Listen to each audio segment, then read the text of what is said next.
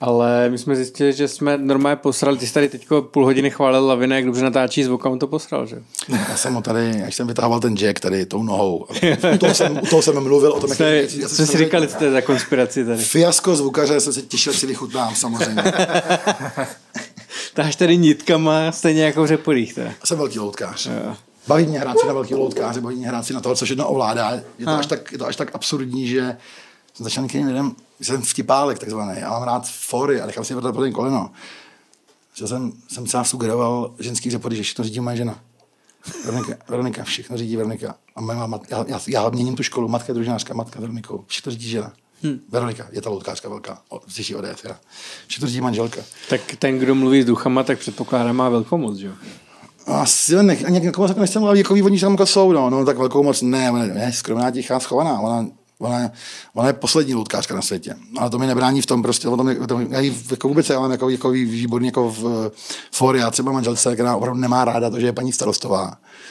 Uh, prostě třeba na bolíku, že jdem na státní návštěvu Ořecha, ale má tam program s paní Ořechovou, s paní starostovou a prostě musí oficiálně to a ona chudák tomu jako uvěří, a že, má, a že má povinnosti prostě jako to oficiálně, je, je ona nesnáší prostě, ona, ona je fakt, nemá ráda moc velkou pozornost, manželka má, je, a, a to bylo vidět i v tom dokumentu. Já jsem jí slíb, no ano, a tam právě velmi nešťastně, my jsme, my, to mě trochu mrzelo, Tchán mi to vyčítal, my jsme počali druhý dítě během toho natáčení, ale byla tam velmi nešťastně moje manželka v tom dokumentu.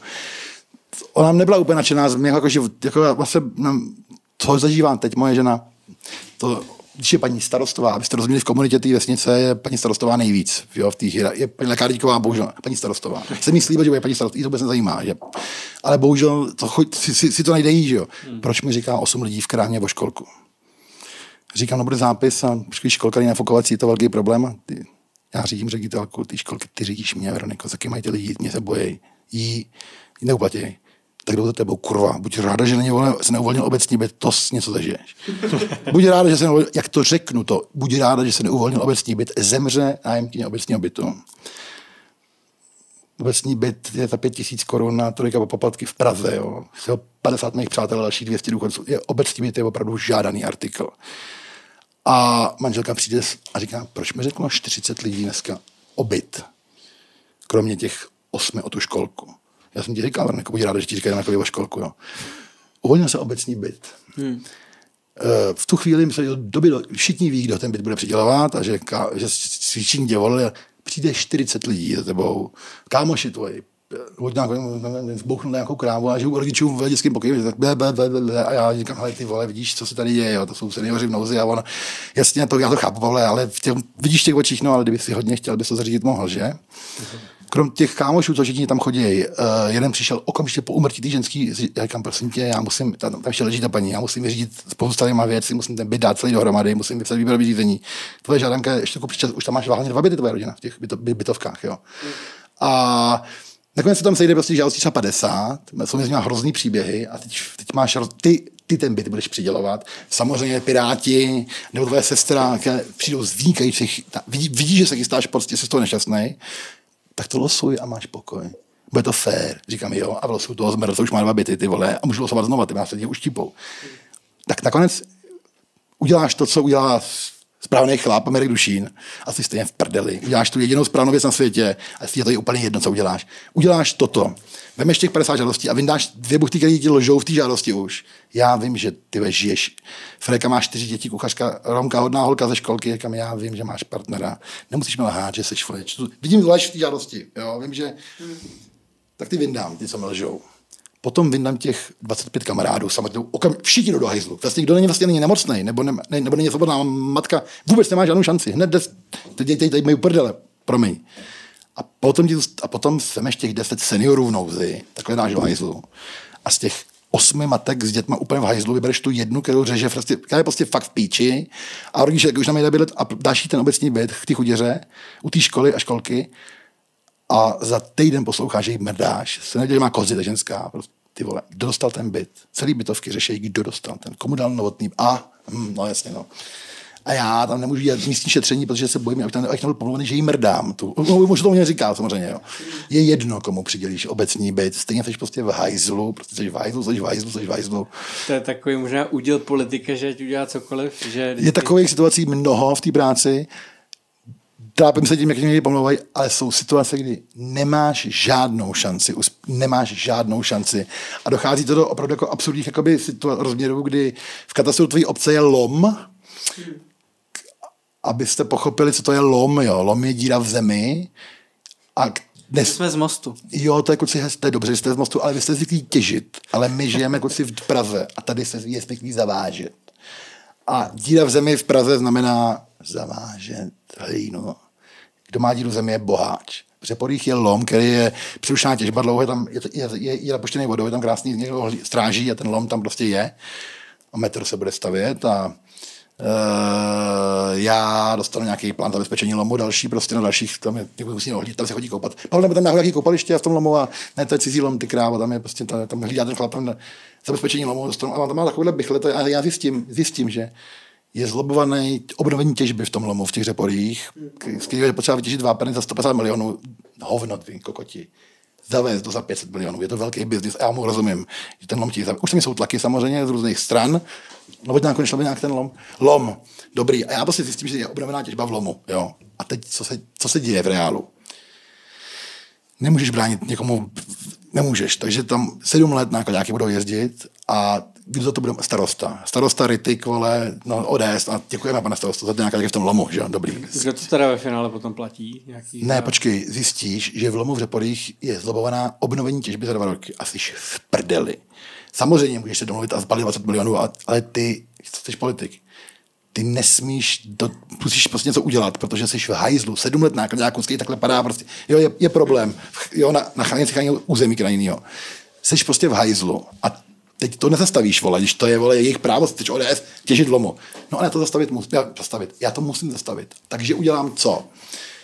Poplách, ty vole, průser, vole, lobovaný lom, ty krávo, advokáty jsem najel okamžitě. A ty advokáti dostali jas, špičkový opět, jasný úkol.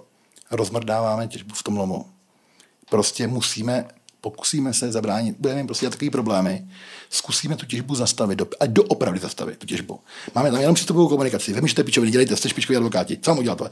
Autobus opravovat, to opravovat, zvedáme tam chráněný území, prostě jenom budeme nechat zlobit. Stojí to 100 tisíc, tři Začal jsem bojovat s lomem. První, co jsem o sobě přečetl na Facebooku obce, no tak no, nějak bude přestírat, že bojuje s lomem, ha, ha, ha, ha, ha, jasně no. Druhá věc, zastupitelstvo nadšený z mý akce, nevěří, bude, bude se těžit lomu samozřejmě. A zastupitelstvo ví, že jsem nebezpečný psychopat a vyděrač a vydělávám peníze té obci. Oni vědí, že si já budu bránit tomu lomu, jako třídě, která nebude v přepodích, tak já dokážu na konci ten lom tak, vy, tak do takových hoven dostat, že nakonec začneme vyjednávat a řepory opravdu dostanou desítky milionů korun možná, jestli to vstoupím já, že jestli to je za 30 miliardy.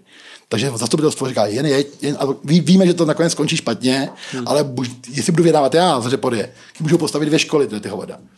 Jenomže já to musím to opravdu zastavit. To jim jenom já, protože já stejně nakonec bude těžba v lomu, že jo? A já budu ten, kdo to udělal, kdo si postavil barák na tom. Hmm. Já jsem si uvědomil jako jediný z řepolí, že to musím doopravdy zastavit. A těžba v lomu nejde zastavit. Leda bych ji zastavil, jo. Nemůžu vyhrát tu situaci. Leda bych zastavil těžbu v lomu, který a já budu se opravdu jako, jako všechno ostatní je špatně. Pustíš je tam, bojuješ, všechno, vždycky ze všeho něco máš. Fotbal si staví tribunu na hřišti. Chybí mi 120 tisíc, protože jsou to debilové a moji kamarádi, a jsou to fakt poctiví kluci a by to spočítali, opravdu, ale. A chybí jim 120. A já jsem taky jeden z nich, kurva, tak jim potřebuješ přidat další 120 na tu tribunu, jenže on je další rok a ty nemůžeš ta samý projekt dávat peníze. Hmm. Jo, to je takový, to je zákon. Zauštoval jsem to. Našel jsem cestu, hodil jsem do puštárně, sehnal jsem jim ty peníze, betonovali své pomocí a postavili jsme tu tribúnu za těch 400 tisíc. Jenom za, za cenu, že, že celý oddíl, prostě jsme, dokázali jsme to. Hospodská mi volá. Vši, pro všechny hospodský jsem něco udělal. Chci vědět, co si říkají lidi o mě v kavárnách, v hospodách. Musím to vidět. Všechno. Prosím tě, prosím, z té tribuny 100 tisíc. Tady říká, říkám, díky. Říkám, to jsou ale čuráci. Tak i z té tribuny jsem ukradl 100 tisíc.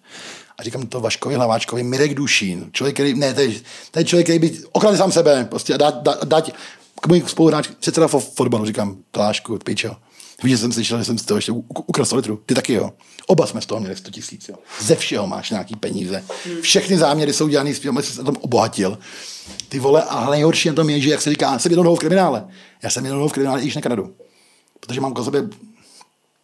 Může stát, že dělal jsem do kriminálu někdo jiný, třeba nějaký personál, jo, na ministerstvu, nějaký náměstek, jo. Jsem jednou nohou v kriminále, i když nekradu. Což je taky na hovno. Prostě ty vole. Já bych měl fakt, jako je, dobrý, jako je lepší krát, protože to je na stejno vlastně. nebo dělat, dělat takové ty prospěchářské věci, protože nakonec stejně ten starosta je zneuznaný, zhrzený, pomluvený, že jo. patří to k tomu úplně, na, na, ty, ty parcely si patří. Mm-hmm. Brečí mi starosta malý vesnice, kam jsem si hrál fotbal, 500, že už je podlý starosta, že mu je prdel celá vesnice, ty vole. Už, že to je nevděčný jako svině. A já mu říkám, pičo, ty vole, prosím tě, ty vole, si to musel počítat, kurva, ne, tak, tak lidi prostě jsou takový, to je přece normální, to tomu prostě patří, ty vole. Mu říkám a sám se trápím doma některýma pomluvama. Já, bulvární ředitel, je mi to líto, jo. Zachráníš prostě, uděláš něco Sokole, prostě uděláš nějakou věc, úplně uděláš něco velmi, a chceš hospodu v tom Sokole, doprve. všechno se dá nějak vysvětlit. Jo. A protože jsem ostavil od peněz spoustu přátel a lidí, jsem ostavil 80 lidí od penězovodu na vesnici, ne vole, přišel do korporátu a vyhodil firmu, která byla drahá, já, já vyhodím firmu, která patří kamarádovi, kde budu ještě potkávat 40 let. Jo. Odpojil jsem hodně lidí od penězovodů v Řeporích. Jo. Ty mají kurva důvod tě, tě pomlouvat samozřejmě, aby ne, ale k tomu tě pomlouvají všichni ostatní, to je přirozený. A mě to tak, je, je, je to takový, tý to patří, a strašně mi to na ní sere. Se fakt, jako, vadí mi to jako hodně. Je mi to líto, protože jsme počítali s manželkou, kolik jsme viděli za červen, pomluvama. Asi 800 tisíc a hospodu. No. Já přemýšlím, že nám do Řeporyského echa takový článek. Hmm. Já píšu sám echo, Řeporyský tam mě nepřispívá. Já. Hmm. Já mám, jak chce, i obsahově bylo zajímavý to echo, tak že bych napsal jako chyby, které dělají při tom pomlouvání. Že jsem si všiml prostě jako drbu, hmm. že bych jim chtěl dát jako vysvětlit, jak mají pomlouvat správně, dělají, dělají hrozný chyby, jo, prostě při tom pomlouvání. Jo, tak ty, ty, ty, ty drby jsou absurdně znějící, jaký jsou nedůvěryhodně mají, jak tě mají pomlouvat. Takovou ironii, že by udělám, jo, abych ukázal jako, ale to všechno takový, mm, ty vole, trápím se tím, jako, jak, že nás opravdu mě hodně pomlouvají. Jo. Moje manželství pomlouvají hodně jako lidi. Že, jo, prostě setkávám, já jsem mám, být zvyklý, a teď jsem starosta. Jo. Jsme první pár v Řeporích manželkou. Jsme první pár, jo. Jsem, jsme ohně na očích teďka. Já jsem zvyklý, a manželka není úplně na toto zvyklá. Ale ty vole, já jsem si nikdy neuměl... Celá vesnice mi kuce mé prdel, prostě no.